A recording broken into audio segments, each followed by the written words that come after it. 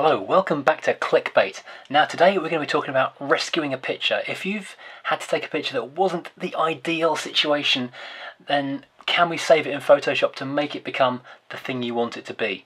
Now, I don't have many rules in photography because photography shouldn't be about rules. It should be about freedom to create and express. Unless you've got a client demanding a very specific thing, you should be up to you to, to make it what you want. So these aren't so much rules as, as guidelines which I follow as much as I can when I'm taking pictures and when I'm working.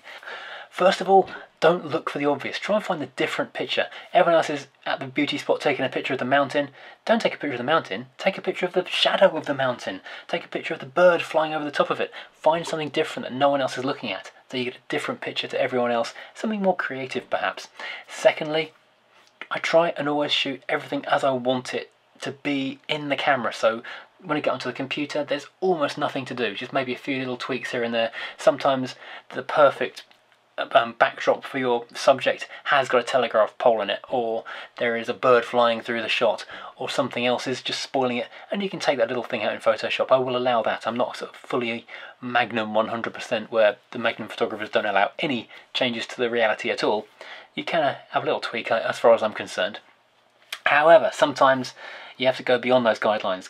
And this all starts the other day. I was doing a shoot for a company that wanted uh, pictures of their buildings. So normally when I'm doing architectural shots, I'll be taking something like this. This is a tilt shift lens. This is a 24mm uh, f1.35 Nikon D series tilt shift.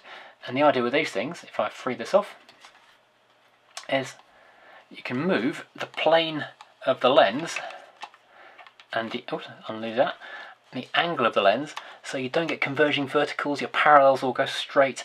Um, so you've got a big square building in front of you. When you take the picture, normally if you lean back, the whole building will just bow out in the photo. This will correct that. However, I'd already scoped this building out, and a quick recce on it before we got there, and I noticed a couple of things about the uh, the building. First of all, it was massive, and I couldn't really stand far enough back without getting a few things in the shot. For example, across the road there was another building which just overlapped ever so slightly on one corner. Down at street level there were lots of street furniture things. There was bollards, uh, information board, benches, bins, a helicopter. Um, even standing on the benches with the tripod as high as I could make it, I wasn't going to be able to get the shot I wanted. I knew I was going to have to shoot it with a drone. I also knew that the light would fall on it perfectly at about half past five to six o'clock in the evening. So I needed to be there at that time to get the beautiful sort of evening sun lighting up this place and making it just glow. So I went there at six o'clock, got the shot of the building, but yeah, you've got the drone in the air, you're always going to have a little look around just to see whatever else there is because you don't want to waste opportunity. Every flight, every time you pick up a camera, there's something in front of you that might be worth a photo. Always take the chance to just, just turn around, look behind you, look above. In this case, I look down. And you may have seen these great photos of camels trekking across the desert. You can barely see the camel, but you can see the huge shadow. And that's what I saw here with the helicopter. Barely visible in the shot, but this shadow, this amazing shadow, you can see the light glinting through the windows, you can see the tail rotor, all this stuff just kind of happening over here. Um, but it's spoilt by all the street furniture that forced me to use the drone in the first place. It's still in the picture, so here's today. I'm going to break my golden rule of not photoshopping a picture because, well, my golden guideline, um, because you should be looking at what's in the front of you and not creating an artificial reality. In this case, I want this picture, but I can't get it without a bit of Photoshop, so here we go. Now fortunately I do have one guideline, which isn't a guideline but a rule. Always shoot in RAW, so we can start off on a good footing with this in terms of quality and exposure and everything else. Right, let's get in there and start getting creative. So we can start upping the contrast to get more detail out of that shadow, turn the highlights down because you can see from those red fringing parts that was very very bright sunlight on the left hand side, the bottom of the picture which is the right hand side of the helicopter and a bit darker on the passenger side of the helicopter, um, calling it a passenger side. I think they've actually worked the other way around in helicopters, I don't really know, I can't fly one. Go for a stronger colour there, let's bring up the vibrance and the saturation and give it a bit more punch. I think it'll it'll benefit from that later on. There's three tools we're going to be using for the most part here. We've got the spot healing tool, which is fairly clever if you've got a shape which is well separated from everything else. It can take the colours and patterns and textures from around it and blend them to replace the item that you're trying to get rid of. This is really good because it takes a lot of the pressure off trying to find a good match for the for the uh, texture and the colour and everything else. But it is a bit arbitrary. It's not got any finesse. It's okay for big sort of flat areas like that, but it can be a bit of a pain because it just sometimes, if I demonstrate here, if we go somewhere a bit more complex, it will get confused. If I go across this little bit of concrete on tarmac just here, it's going to get very confused by all these textures. And it just didn't really know what to do with that. So it's taken away some of the right stuff, but not all of it. When we get to areas like this, we're going to go for the stamp tool, Command key S. More control, but because you're sampling and you get to choose how hard you sample, whether you go full opacity at 100% or very light and just sort of drift a bit of the pattern over, you don't always get the correct um, texture to the background, so you have to be quite careful how you use this. And thirdly, we're going to be using the pen tool to select things so that when we want to cut really specific items out, we can select them really precisely. First of all, before I don't go too deep into this, let's lose some of the area that I don't want to have to waste time cloning out. Because I don't want to be doing all that table, that table there, all the stuff over here and already I've saved myself about 20 minutes of cloning just by removing it from the shot. I've got the helicopter straight across the bottom there. This is good. So right, we're into this thing. Start outside and work our way in. Now using this square bracket smaller and larger we can control the size of our brush and it's the J button to select the um, spot healing brush we can jump in here and just paint out this what must be quite a tall table with like information and things on it with these interesting little long legs of stuff underneath. And that's now gone. It's messed up the um, the pavement edge just a little bit there but we can correct that here. We can do post post production. What we can do we can do one of two things. We can either use the stamp tool at this point to try and take a bit of texture which is the right angle here copy that from down there using the alt button clone that in over here but I don't think that angle is going to be quite right so what we can also do if you duplicate the background so you can work on the copy layer select in this case just using the, the marquee tool to make a really quick selection over here of some other curbstones. Apple C to copy, Apple D to deselect, Apple V to paste. We can move that up over.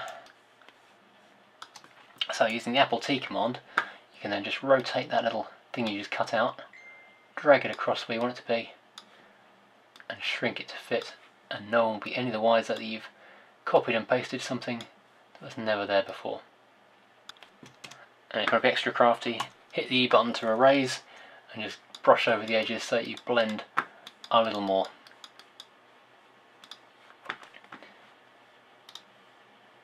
And with background turned off, just go up into the layers menu and merge visible so that is now fixed and we've lost that thing already. Now let's try hitting the J key for the spot healing brush and take out a couple more of these bollards down here.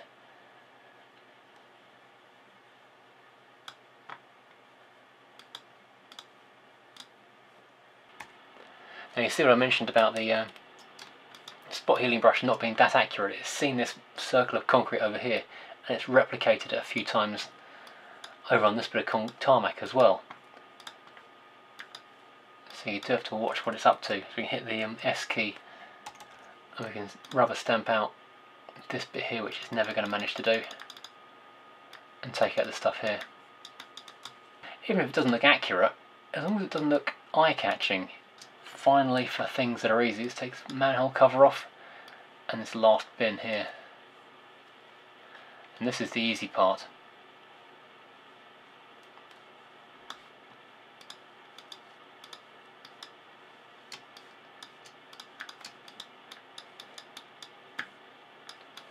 From here on in, things start getting a bit more complicated because I'm going to have to start being really careful about what I do and don't take out.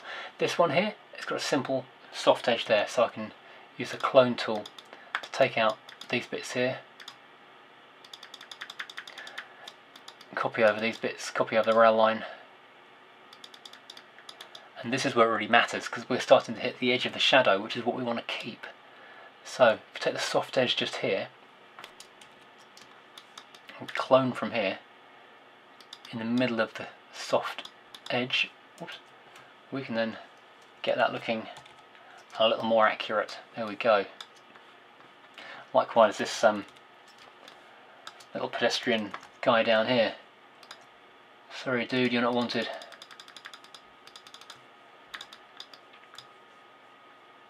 So being quite careful where I choose my clone points from. Taking the soft edge again. I'll answer that email later. We can even take from an area over here, because that's the same texture and the same same brightness and everything like that. So we can lose our little walking guy there. And the rest of this um, anchor, it's actually a, a ship's anchor welded to a metal plate to make like a bollard for the chains. Now fortunately the chains weren't on there today. Now this is what we're going to be careful with because there's this other harder shadow going vertically through that rotor blade shadow. We need to be careful not to be copying that into there. Hit the J button. There we go, we can start using the basic one again. Although over here we have now got our rail line. Sometimes this one will work the spot healing brush can figure it out. Let's give it a quick try.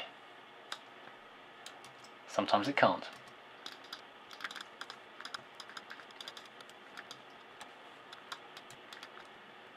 Now already we're getting there. We've got a few more things to take off with the simple stages, then we can move into the complicated stuff. So lose the leaf. The leaf is an easy thing to get rid of. Maybe if I go a little larger on it.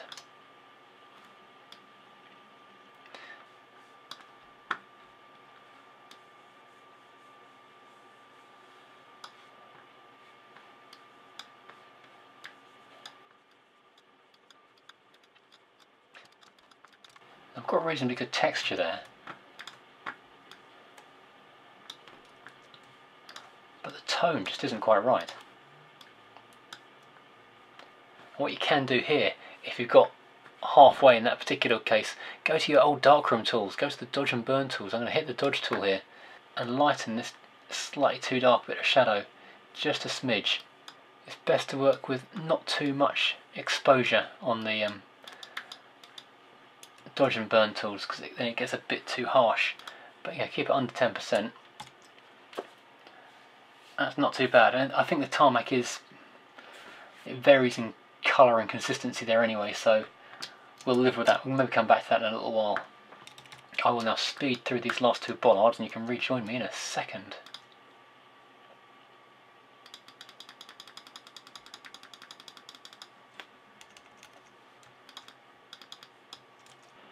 in this area we've got a problem because there's a bit of um, the bollard going through the shadow we've not got a nice clean edge that we can just clone up to so what I'm going to do is take a copy from here which is a similar kind of um, pattern on the ground but the wrong angle so if we go in do an edit copy deselect edit paste we can then take this over here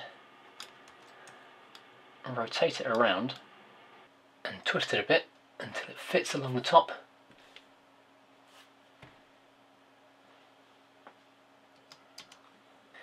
Then we can grab the eraser tool start taking the edges off again, blunt it down so you'll never know it wasn't really there to start with. Cunning, huh? Just a quick levels just to blend it in completely. Job done. And then we can do the same trick again on the front of the uh, this tower part of the helicopter. I'm going to call it the conning tower because it looks like a submarine. I know it's not.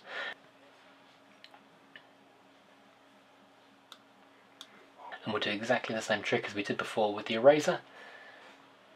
All good. If we turn off the back layer you can see exactly how little of the parts we've copied and pasted in. Almost nothing at all really, just the tiny centre sections. And once again we'll turn off the back layer and merge visible so it's all one layer. Now, we have got rid of all the easy parts. We're now into the difficult bit of masking. So we'll start off with an easy mask. Down here on the side of the fuselage, it's mostly straight, just a few curves. If we go in with a pen tool, just hit the P button to start off. We can then draw carefully, click from point to point if you want straight lines, click and drag if you want a curve. And then you can grab the little white points to twist the edges around and just make it exactly right. Now I've drawn a box around the shape, go down to make selection, feather it just one and now we have got a selection that we can paint into.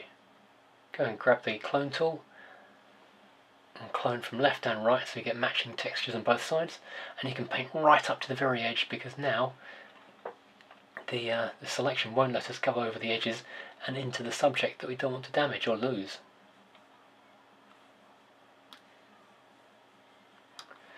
And I do the same thing on this other shadow here below the rotor blade, taking it right up to the rotor. And of course, because we're sticklers for detail, we'll get inside this little gap here as well. Do the same thing again.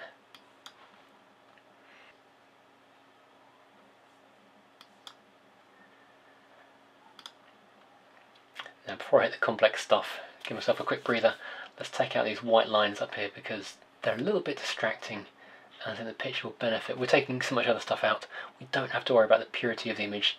We can lose these white lines, just clone tool.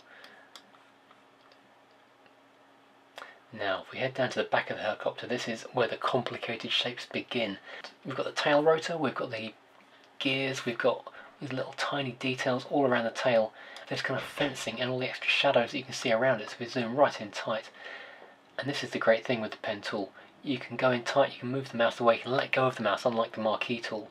You can select, and then if you don't get it quite right, you can click and drag on the points so that it doesn't matter if you get it wrong first time. You can keep on fine tuning until it's absolutely perfect, and you can zoom into the pixel level. Get it really, really granular, I think is the word there. And then uh, this will take a couple of minutes. We'll rejoin me in a second. And once again we do exactly the same thing, we just make a selection, feather it one, and then Robert is your father's brother.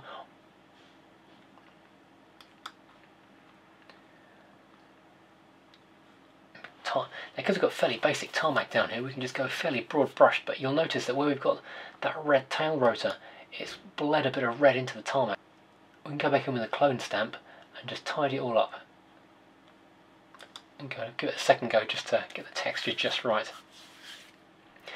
Now, to be a little bit careful here because you'll notice we can just go slightly over the edge of where we've selected and actually destroy some of the other parts of the image we wanted to keep. So if you do that, don't forget Apple Z, go backwards, do it again more carefully. We can paint into all these little details with the clone tool and kiss goodbye to the shadows and once you've moved far enough away from the body of the, the subject you're looking at you can go pretty broad brush with the uh, easy one. Now the problem we've got here is we don't actually know what the bottom of the shadow looks like because this is where the helicopter begins and the table ends. Um, we've got no real reference so if we just get a nice straight line off this I don't think anyone's really going to know unless they're a real absolute helicopter expert. And we get away with that one. That looks pretty good but I'm being distracted by this manhole cover so we'll just paint this out along with the curb this final bit of white line and we have gone from an absolute mess of an image it looked a complete disaster before you wouldn't have given that a second look but we, we could tell couldn't we that there was a picture waiting to get out of this frame so now we have something really good we'll just go and get rid of these final little details, these other little distractions. We've gone so far, let's not skimp on the last little bits. What do you think of that, guys? You can now see the shadow really clearly. We've lost all the other distractions. I'm really quite impressed with that. I think this looks so good. So we've gone from this, which is, frankly, a bit of a mess. I could see there was a picture in there waiting to happen, but it just wasn't happening because of all this street furniture, all these other shadows just completely just distracting and spoiling everything in this picture. And through about an hour or so of just careful clicking, we've gone from this to this, which is actually quite an interesting picture. And we've got the possibility of throwing in this mono one as well. What do you guys think? This, is it worth the effort of trying to save a picture that's, you know, you can see the potential, but it just isn't there, but you need a bit of Photoshop time? did I waste my time on this? Do you like this picture? It's, I think it's really quite a cool abstract picture of a helicopter. We've got the actual image of the helicopter down here. The aircraft is at the bottom of the frame, but you can't see it. It's almost invisible in the frame. But here it is, in, in shadow form. It is looking for the not obvious, finding the, the weird, the different, the unusual. I'm pretty happy with this. So yeah, this is going on Instagram and Alamy this afternoon.